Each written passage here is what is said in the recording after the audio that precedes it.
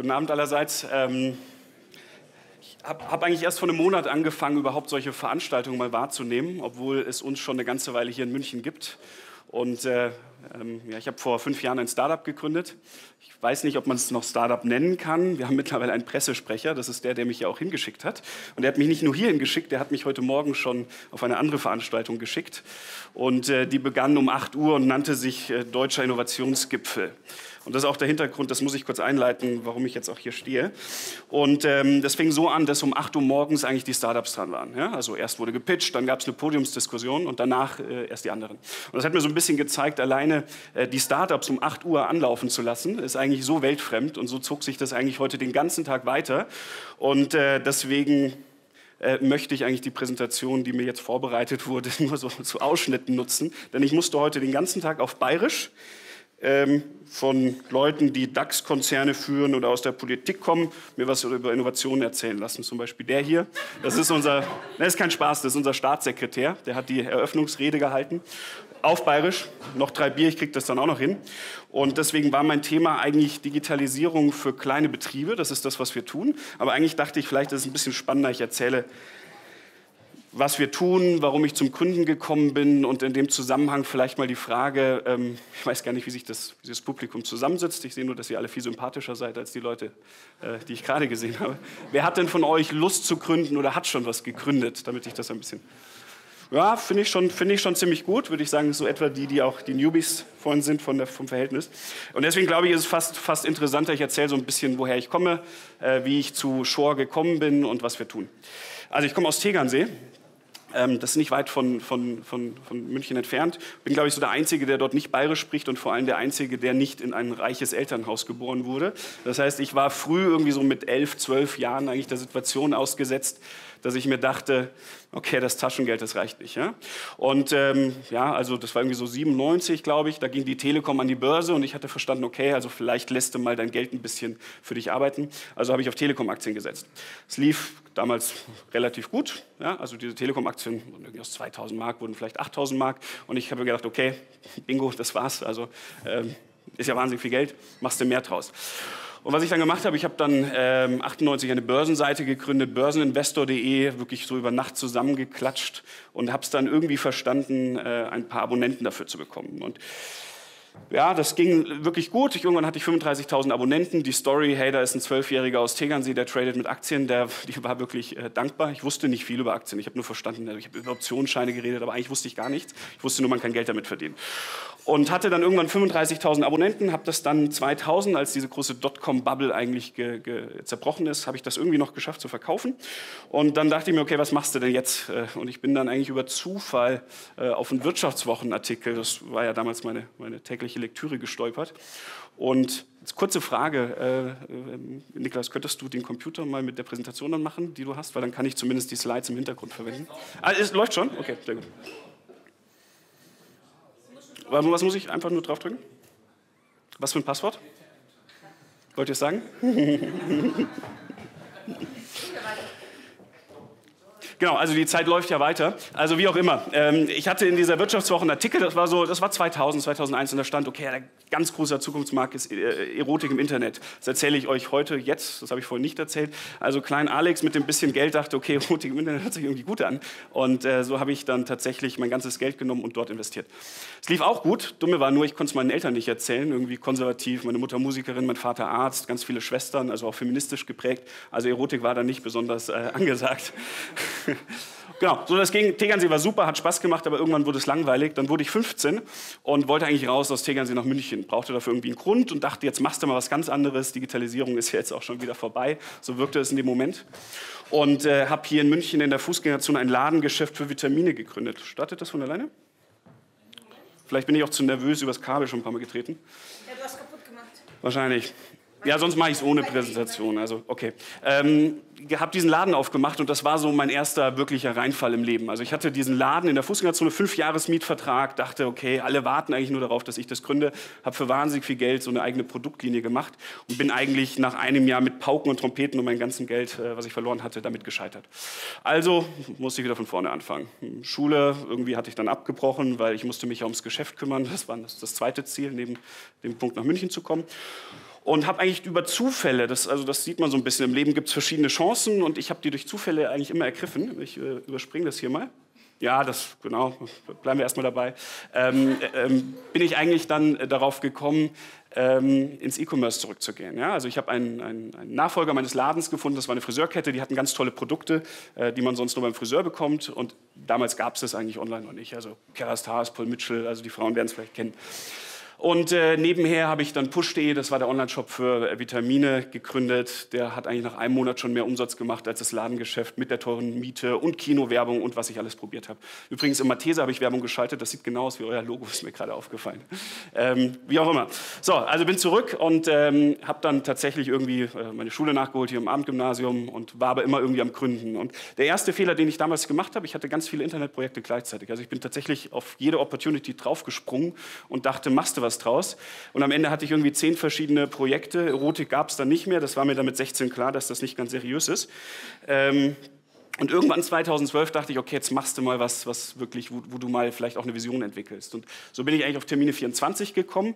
Auch wieder eigentlich eine Utopie am Anfang. Ja? Also die Idee war es, einen Marktplatz für Termine aller Art zu machen. Also wirklich vom Arzttermin bis zum Reifenwechsel äh, sollte alles online buchbar sein, wie man das von Flügen und Hotels beispielsweise schon kannte und äh, habe das in München ausgerollt, am Anfang mit eigenem Geld und dann eigentlich festgestellt, funktioniert nicht. Also dieses typische Henne-Ei-Problem, der Kunde hat zwar Bedarf, aber am Ende kauft das nur, wenn er einen Gutschein bekommt, wie bei Groupon. Groupon gab es damals auch in der Zeit und Daily Deal.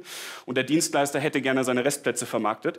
Und am Ende verdient immer nur Google, weil ich bezahle viel Geld für, für die Online-Werbung. Und nach einem Jahr tatsächlich das erste Mal vor der Situation gewesen, was machst du jetzt damit? Hatten irgendwie so 30 Mitarbeiter, die erste Million verbrannt und ähm, habe dann meinen Co-Founder gefunden, ganz toller Typ von Zalando, kann alles, was ich nicht kann, kann aber auch vieles nicht, was ich kann. Also insofern tatsächlich mein guter Match, anders als früher, wo ich immer mit meinen Kumpels, wenn überhaupt was gemacht habe. Und ähm, so ist Shore entstanden. Shore ist nach fünf Jahren jetzt, ist unser Anspruch, dass wir das SAP für die junge Generation und vor allem für die KMUs, also kleinere und mittleren Unternehmen werden. Und eigentlich durch Zufall, durch diese Terminierungstechnologie haben wir es geschafft, plötzlich ganz viele spannende Softwareprodukte hinzuzuaddieren.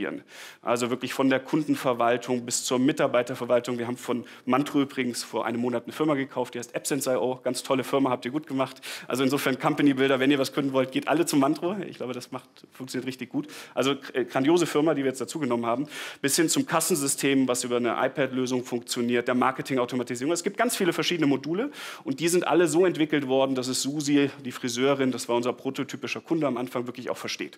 Das heißt, es ist so einfach in der Bedienung wie ein Facebook, von der Technologie aber so tief wie Mailchimp und was es alles an Technologie irgendwo so gibt. Also kann man es als Pooling of Tools irgendwie bezeichnen.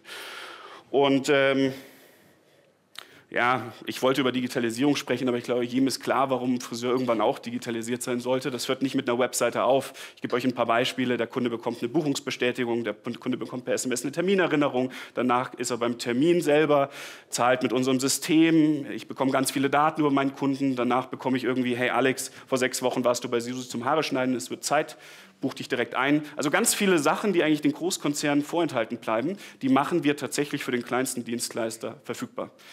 Jetzt ist das dumme, Susi versteht es nicht. Also Susi geht vor allem nicht ins Internet und gibt ein CRM für Friseure, sondern ähm, ja, äh, es ist tatsächlich so. Also wieder mal ein bisschen overengineert vielleicht am Anfang.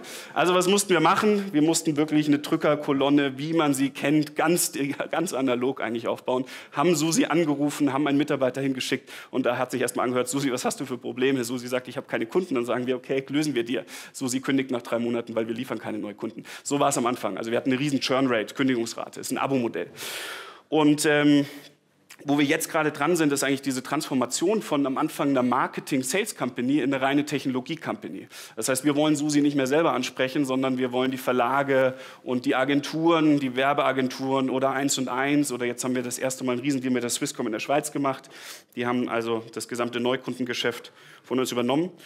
Und ich, meine Überzeugung ist, Susi wird es kapieren in den nächsten fünf Jahren. Aber was eben noch passiert ist, ähm, das Produkt ist so einfach, so intuitiv, dass plötzlich nicht nur Susi interessiert war, sondern wir mittlerweile so Kunden haben wie Hornbach, also Baumarktkette, die machen plötzlich ihr, ihr, ihr, was weiß ich, Anhängerverleih oder eine Betriebskrankenkasse, die machen ihre Beratungstermine mit uns oder jetzt haben wir irgendwie so Prototypen, kennt ihr vielleicht von Flughäfen, diese iPad-Lösung, wo man Feedback abgibt. Und am Ende äh, versuchen wir das alles wahnsinnig einfach äh, zu delivern und tolle Produkte äh, dazu zu kaufen. Ja, äh, Handelsblatt schreibt, wir sind Unicorn. Äh, ja, vor einer Woche hätte ich es auch gesagt, diese Woche gibt es wieder Rückschläge. Das ändert sich immer so im Startup-Leben, man muss da resistent sein. Was haben wir geschafft? Wir haben es tatsächlich geschafft, wahnsinnig viele Investoren zu gewinnen, verhältnismäßig viel Geld, also wir haben über 30 Millionen eingesammelt und sind mittlerweile über 200 Mitarbeiter. Das ist wirklich fast schon wie so ein Riesendampfer. Ähm, das ist nicht alles gut. Also eigentlich stellt man sich so ein schlankes Softwareunternehmen so vor, da sitzen 50 äh, Backend-Entwickler und vielleicht ein Marketing-Guy und dann kommen die Inbounds. Aber bei uns ist es so, dass wirklich zwei Drittel am Anfang Vertrieb war und wir jetzt gerade diesen Shift machen. Und ja, ich kann vielleicht, weil jetzt auch noch Zeit ist, ein bisschen auch über die Fehler und wie es dazu kommt, ähm, sprechen. Also Startup ist kein Ponyhof. Habe ich noch die Zeit? Weil ihr habt mir ja ein paar Minuten geschenkt. Ja, machen wir das. Gut. Also Investoren, B2B Deutschland. Also äh, wenn wir gewusst hätten, was wir daraus machen, hätten wir es, glaube ich, anders begonnen. Wir haben am Anfang äh, Leute reingenommen, die, von denen haben wir 50.000 Euro genommen und haben denen eine völlig andere Idee gepitcht. Ja. Mittlerweile sind wir, äh, ich glaube, 28 Investoren oder so. Also eine riesige Menge an Investoren, die alle mit einer anderen Vorstellung reingegangen sind. Und ehrlicherweise auch, ich habe auch hier wieder jede Opportunity genommen. Das heißt, jeder, der kam oder den ich angesprochen habe, der mir Geld gegeben hat, habe ich gesagt, super, ich nehme dein Geld und ich mache das Beste daraus.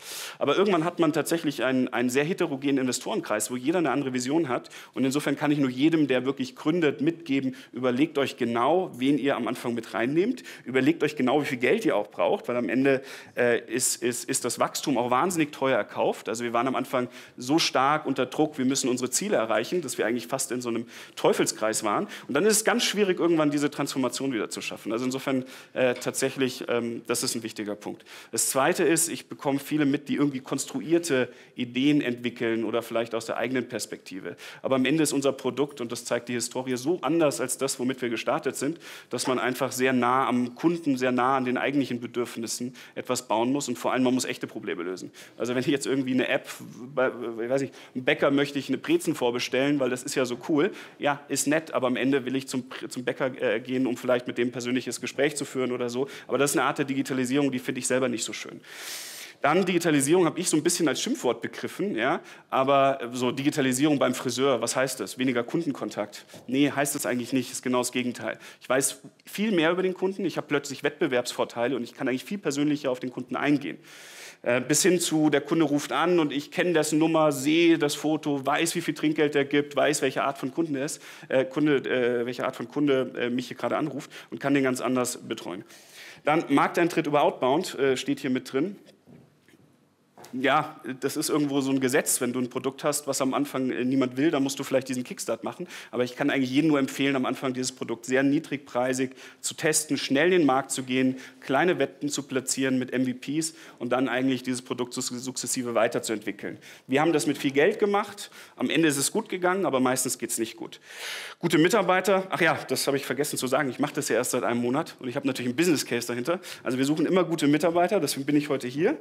Wenn das nicht klappt, dann hatte ich mir überlegt, äh, vielleicht bewerbe ich mich für so eine Honorarprofessur bei euch. Also mal schauen, was heute noch rauskommt. ähm,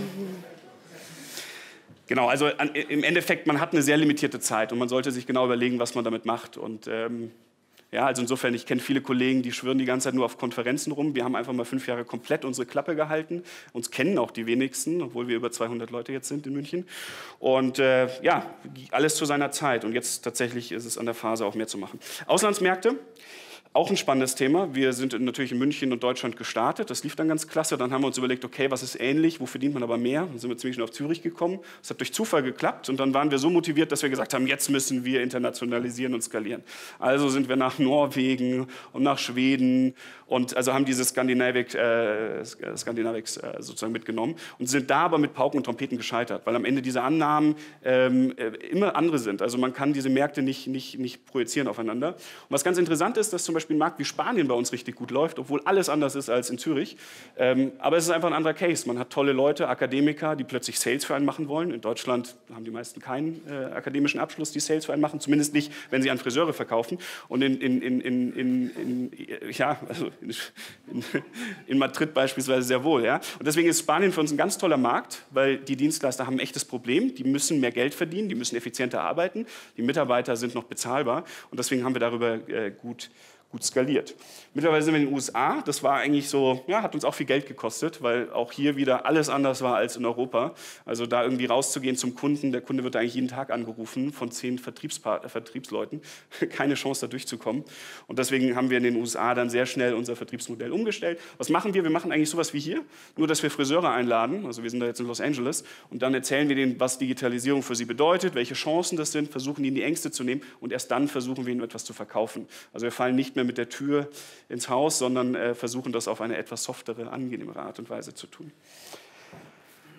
Ja, ähm, ja, was, was würde ich sagen? Ich würde es immer wieder tun, ja, wahrscheinlich schon, aber man muss auch der richtige Charakter sein zum Gründen. Also es gibt unheimlich viele Hoch- und Tiefs. Also ich glaube, allein im ersten Jahr waren wir fünfmal kurz vor der Insolvenzverschleppung. Ist bald verjährt, deswegen kann ich es jetzt sagen. Ähm, ja. äh, Product First, also am Ende ähm, auch hier ähm, am Ende kommt es einfach extrem aufs Produkt drauf an. Du kannst alles verkaufen am Ende, aber am Ende zeigt sich auch, wie der Kunde das nutzt. Also wir messen diese Traction Rate und auch hier haben wir den Fehler gemacht, am Anfang wahrscheinlich nicht zu, zu, zu, zu, zu also ausreichend nach Zahlen zu steuern. Aber am Ende sind Zahlen eben alles. Das musste ich auch lernen, weil ich so ein Typ war, der eben nach Gefühl immer äh, Wetten platziert hat. Und dann aber, wenn du einen kleinen Laden mit zehn Leuten hast, natürlich agil genug bist, das wieder zu ändern. Das heißt, ich lerne gerade, wie es ist, von irgendwie einer kleinen Firma in eine große Firma zu transferieren, transformieren und äh, plötzlich sowas wie Corporate Governance zu haben. Jetzt habe ich plötzlich ein Fahrtenbuch. Also ich hatte noch nie in meinem Leben Fahrtenbuch. Ich habe dem Finanzamt einfach gesagt, das sind alles nur äh, geschäftliche Fahrten. Jetzt muss ich sowas plötzlich machen. Also insofern, das muss man schon lernen. Ich bin mir auch nicht sicher, sicher, ob ich für alle Phasen der Richtige bin. Also mittlerweile ja, sucht man eigene Nachfolger tendenziell. Ich glaube, das ist auch der richtige Weg. Man muss irgendwann für sich dann erkennen, es gibt bessere Leute für die entsprechenden Phasen, für die entsprechende Execution. Und äh, ja, dass Investoren, dass Deutschland mutiger werden muss, ist, glaube ich, klar. Also das betrifft gerade die Key Accounts als Startup. Startup ist immer noch so ein bisschen Schimpf, Schimpfwort, weil die meisten denken, die Wahrscheinlichkeit, dass es euch in zwei Jahren noch gibt, ist eher gering. Also das heißt, gerade hier in Kooperation mit den DAX-Konzernen wirklich voranzukommen, also da wünscht man sich mehr Offenheit, aber ich glaube ehrlich gesagt, ehrlich gesagt die, die Phase für Gründungen war nie besser als heute, bis hin zu Fördermitteln. So. Yes.